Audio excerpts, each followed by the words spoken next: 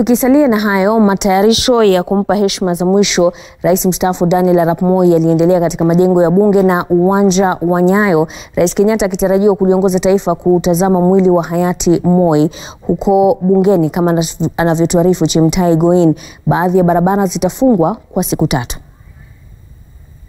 Macho yote yataelekezwa katika eneo hili hapo kesho, Rais Uhuru Kenyatta akitarajiwa kuongoza taifa kuutazama mwili wa rais mstaafu Daniel Arap Moi. Mwili utaondolewa katika makafani ya Lee saa mbili na dakika tano asubuhi. Jeneza la rais mstaafu litafunikwa kwa bendera ya Kenya. Maafisa wa kijeshi wataandaa gwaride la heshima kwa marehemu mwili huo utakapowasili bungeni.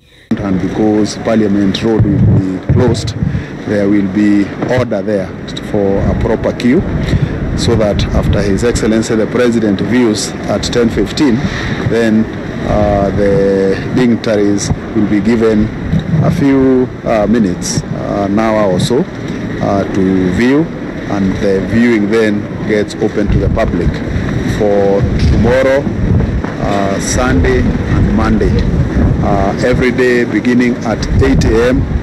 Uh, to 5 p.m. Sehemu ya barabara kuu ya Uhuru Highway inayoelekea kwenye majengo ya bunge pamoja na barabara ya bunge na ile ya Harambee zitafungwa kwa siku tatu wakati wa Kenya watakapokuwa wakiutazama mwili wa marehemu. Na katika uwanja wa Nyayo ambapo ibada ya wafu itafanyika Jumanne, kamati andalizi ilifika kukagua jinsi matayarisho yalivyokuwa yanaendelea. As you can see, uh, it's a beehive of activities. Uh, to ensure that uh, this dais is ready, to ensure that uh, where the casket will be laid on the green uh, field uh, is ready and to ensure that the motions around here are ready. Wanajeshi wakionekana kujikuna vichwa kuhusu jinsi shughuli hiyo itaendeshwa. Rais huyo mstaafu atapewa mazishi ya taadhima kuu inayoandamana na heshima zote za kijeshi. Mwili wa rais mstaafu Daniel Moi utakuwa chini ya hema hili wakati wa ibada. Sehemu ya uwanja huo iliyokuwa imechipuka ikitengenezwa upya.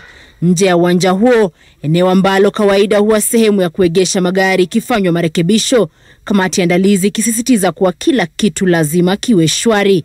Uwanja huu wa Nyayo ulijengwa wakati wa utawala wake, na Jumanne hii Wakenya watajumuika hapa pamoja na viongozi kutoka nje na ndani kumpa buriani rais wa pili wa taifa la Kenya. Chemutai Goindu, runinga ya Citizen, kaunti ya Nairobi.